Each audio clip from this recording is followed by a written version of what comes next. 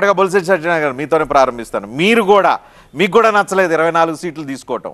మీకు కూడా అభ్యంతరం ఉంది. సరే మీరు తర్వాత పవన్ కళ్యాణ్ మిమ్మల్ని సముదాయించారా? మీరు పవన్ కళ్యాణ్ భావజాలను అర్థం చేసుకొని అడ్జస్ట్ అయిపోయి ఉండొచ్చు. కానీ నిన్న పవన్ కళ్యాణ్ చేసిన వ్యాఖ్యలు ఎవరి కోసం ఎందుకోసం ఒక స్పష్టత పేరుతో ఆయన ఇచ్చిన వ్యాఖ్యల్ని ఇప్పుడు చాలామంది భిన్న కోణాలతో చూస్తున్నారు. వాళ్ళకేం సమాధానం చెప్తారు? రజనీకాంత్ గారు మీకు టీవీ వీక్షకులకి అలాగే చాలామంది అలజడిలో రాకపోతే బాధల్లో ఉన్న మా సోదరులందరికీ కూడా శుభ సాయంత్రం అండి. ఇది చాలా మంచి అంశాన్ని ఎంచుకున్నారు. ఎందుకంటే ప్రజలకి ఈ విషయాల్లో క్లారిటీ వస్తేనే జనసేనకి భవిష్యత్తు రాకపోతే మా కూటమికి భవిష్యత్తు బాగుంటుంది. పవన్ కళ్యాణ్ గారి నిర్ణయాలు వ్యక్తిగత నిర్ణయాలుగా ఉండవండి. నార్మల్గా ఏంటంటే వ్యక్తిగత నిర్ణయాలుగా ఉంటే అది పవన్ కళ్యాణ్కి బెనిఫిట్ రాకపోతే పవన్ కళ్యాణ్ గారు పెట్టుకున్న జనసేన పార్టీకి బెనిఫిట్ గురించి ఆలోచిస్తారు. ఆయన అలా కాకుండా ప్రజాస్వామ్యాన్ని కాపాడడానికి రా భవిష్యత్తు గురించి ఉంటాయి తప్ప దేశపరంగానో రాష్ట్రపరంగానో ఉంటాయి తప్ప వ్యక్తిగతంగా ఉండవు. చాలా మందికి పవన్ కళ్యాణ్ గారిని అభిమానించే వాళ్ళకి ఈవెన్ డిబేట్లో ఉన్న మా పెంటపాటి పుల్లారావు గారికి కూడా ఏంటి పవన్ ఎదగడానికి ముందు ట్రై చేయాలి కదా ముందు ఆయన ముక్కుకి మాస్క్ పెట్టుకొని ఆయన ఏదైనా అయితే కదా చేస్తాడని. కానీ పవన్ కళ్యాణ్ గారిని ఏంటంటే వ్యవస్థను మార్చడానికి వచ్చారు. కాబట్టి ఆయన చెప్పింది చాలా క్లియర్ అండి. మనకి కోఆపరేషన్ ఒక అడగాలని ఉంది. ఒక సమాచారం కూడా చెప్పాలని ఉంది కమ్యూనిస్టులు కూడా పేదవాళ్ళకి. న్యాయం చేయాలని కమ్యూనిస్టులు కూడా దే రా సమాజంలో సమ సమాజం నిర్మాణం చేయాలని పెద్ద ఆలోచన ధోరణితో వస్తారు. వచ్చారు. గత యాభై అరవై సంవత్సరాలుగా భారతదేశంలో వాళ్ళ పోరాటాలు చాలా చూసాను చాలా కాంట్రిబ్యూషన్ ఉంది. ఈ దేశంలో కమ్యూనిస్టుల కాంట్రిబ్యూషన్ చెప్పుకోవడానికి వీలైనంత ఎక్కువ ఉంది. కానీ ఎప్పటికీ అధికారంలోకి వాళ్ళు రాలేకపోతున్నారు. వచ్చిన దగ్గర అధికారం నిలబెట్టుకోలేని పరిస్థితి కనిపిస్తుంది. అలాంటి భావజాలంతో మీరున్నారా? లేదు రాజ్యాధికారం ఏ రకంగానే తీసుకొని మీ జాతికో లేకపోతే కులానికో లేకపోతే ఇంకో రాష్ట్రానికో బాగు చేయాలని చెప్పి ఆలోచన చేస్తున్నారా? మీలాంటి ఆలోచించే బ్రాడ్ థింకింగ్ కులంలో ఉన్నవాళ్ళకో జాతిలో ఉన్నవాళ్ళకో సమాజంలో ఉన్న ఉండకపోవచ్చు. మరి వాళ్ళని ఎట్లా అర్థం చేసుకోగలిగే పరిస్థితి ఉంది మీరు? రజనీ గారు మంచి ప్రశ్న ఇది కూడా. ఎందుకంటే లెఫ్ట్ సరిగ్గా ఉంటే లెఫ్ట్ భావజాలం సరిగ్గా ఉంటే ఈ దేశంలో వేరే పార్టీలు అక్కర్లా. కానీ ప్రజలు కూడా ఏమైపోయారంటే అపోహలకి లోనవుతారు ప్రలోభానికి లోనవుతారు. ఎందుకంటే ఇదివరకు లోక్సత్తా జయప్రకాష్ నారాయణ గారు కూడా ఒక పార్టీ పెట్టి వీధి వీధిలో కూడా మా ఫాదర్ కూడా ఆ కాలర్ పెట్టుకొని ఆ పిన్ పెట్టుకొని తిరిగేవారు ఆయన. ఏదంటే సమాజంలో మార్పు రావాలని. కానీ సమాజంలో మార్పు తేగలిగారా అంటే అక్కడ ఆయన కూడా ఓడిపోయిన పరిస్థితి వచ్చింది. ఎందుకు వచ్చిందంటే ఒకసారి ఆయన గెలిచారు తర్వాత ఆ పార్టీని పక్కన పెట్టారు. పవన్ కళ్యాణ్ గారు కూడా లెఫ్ట్ కంప్లీట్గా లెఫ్ట్ ఎలాగుంటుందో చూశారు. రైట్ కూడా ఎలాగుంటుందో చూశారు ఒంటరిగా ఉంటే ఎలాగుంటుందో చూశారు. ఇప్పుడు పొత్తు తప్పదు పొత్తు లేకుండా మనం అధికారంలోకి రాలేము ఈ ఈ- దాష్టికాన్ని ఆపలేము. ముఖ్యంగా ఏంటంటే జగన్ పరిపాలన కానీ బాగుంటే పొత్తు ఉండేది కాదండి. బొలిశెట్టి గారు. జగన్ బూచికి. రాక్షసుడు సైకో దుర్మార్గ పాలన అది బూచికి చూపించి ఇరవై ఐదు సీట్లు ఇరవై నాలుగు సీట్లు తీసుకోవడానికి మీరు జగన్ బూచికి చూసి కాంప్రమైజ్ అవ్వటం అనేది జనసేన వాళ్ళకే నచ్చట్లేదు. సార్ మీరు ఒకటి ఆలోచించండి. టూ థౌజండ్ ఫోర్టీన్లో అసలు ఏమీ తీసుకోలేదు మేము.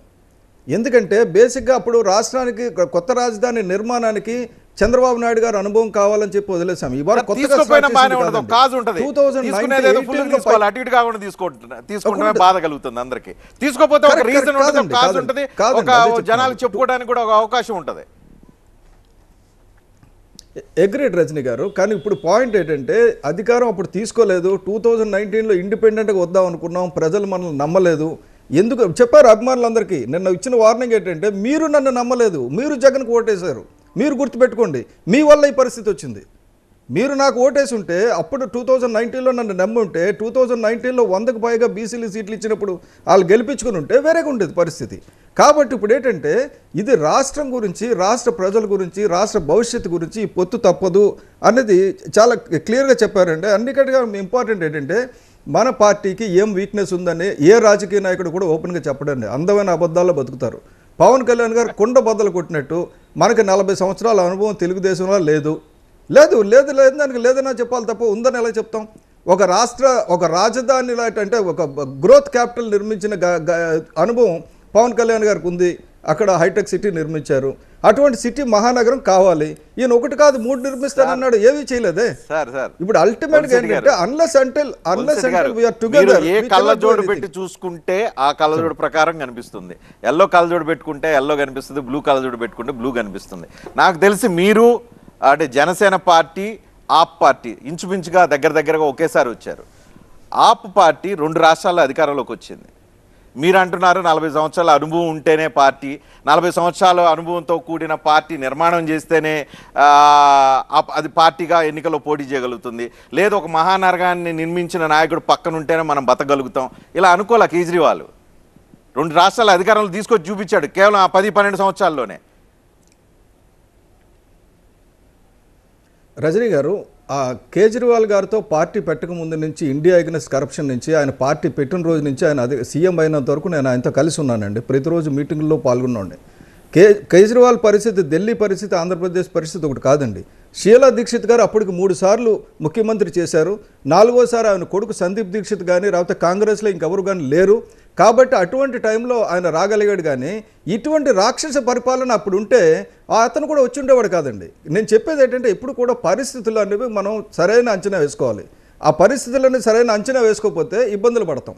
అందుగురించి పవన్ కళ్యాణ్ గారు ఏంటంటే మనం సహకరించుకుంటేనే ఐదు కోట్ల మంది ప్రజల భవిష్యత్తు బాగుంటుంది. మనలో మనం గొడవలు పడితే మళ్ళీ ఆ రాక్షసుడు వస్తాడు. కాబట్టి నన్ను నేను తగ్గించుకున్నాను అన్నాడు. మీకు మళ్ళీ చెప్తున్నాను నేను ఆయన బాగా హ్యాపీగాని కాదు. నన్ను నేను తగ్గించుకున్నాను రాష్ట్ర ప్రజల గురించి అని చెప్తున్నాడు ఆయన. చెప్పిన తర్వాత ఆయనకి సలహాలు ఇవ్వద్దని ఎందుకు చెప్పారంటే సలహాలు ఇవ్వద్దని చెప్పింది ఆయనకు కావాల్సింది ఈ రోజు యుద్ధం చేసే యోధులండి. ఆయన పోరాటంలో ఉన్నాడు. ఈ next 45 వద్దండి days ఎవరు లో ముద్రగడికి యుద్ధం చేయకుండా చేసే యోధులు కావాలి చెప్పింది? అందుకే వాళ్ళిద్దరు బయటపడ్డారా? వాళ్ళిద్దరికైనా చెప్పింది? కాదండి కాదండి. నేను ఇద్దరిని విడివిడిగా చెప్తానండి. హరిరామ్ జోగయ్య గారు కాపు సంక్షేమ స్థానాన్ని పెట్టిందే జనసేన పవన్ కళ్యాణ్ గారి గురించి. కాబట్టి ఆయన ఏ రోజు ఎగనెస్ట్గా పనిచేసి ఉద్దేశం లేదు. ఉద్దేశం రాదు కూడా. ఆయన చెప్పిన సలహాలు నచ్చలేదేమో ఇక నేను సలహాలు ఇవ్వడం మానేస్తున్నాను అన్నాడు కానీ ఆయనకి సహాయం చేయడం మానేస్తున్నాను అన్నారు సహాయం చేస్తూనే ఉంటాడు ఆయన.